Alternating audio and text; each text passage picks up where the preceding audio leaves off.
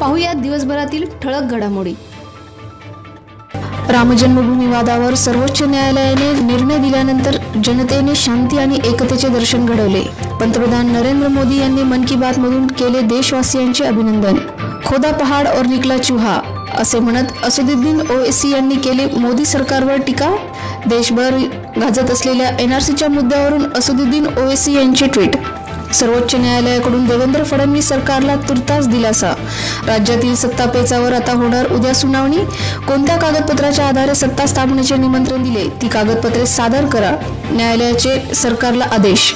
बहुमत होतं तर काळोखात शपथविधी का केला? शिवसेनेचे खासदार संजय राऊत यांचा भाजपला सवाल. शपथविधी काळोखात नाही तर राम प्रहरी झाला. पण ते आता रामालाच विसरले आहेत. भाजपचे नेते आशिष शेलार यांचे संजय राऊत यांना उत्तर. जयंत पाटील यांच्याकडून सर्व आमदारांच्या पाठिंब्याचे पत्र राजभवनात सादर.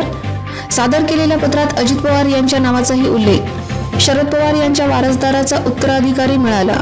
अजित पवारांच्या बंडावर काँग्रेसचे नेते दिग्विजय सिंह यांचे खोचक ट्विट. चित्रपट दिग्दर्शक आशुतोष गोवारीकर यांच्या सुरक्षेसाठी दोनशे पोलिसांचा फौज फाटा पानिपत चित्रपटाचा ट्रेलर रिलीज झाल्यानंतर गोवारीकर यांना धमक्यांचे पत्र. भारत बांगलादेश कसोटी मालिकेतही भारताचीच बाजी. दोन शून्यने भारताने केली आघाडी. बातम्यांसाठी आमची website W W W dot Dainik Prabhat dot कॉमला भेट द्या.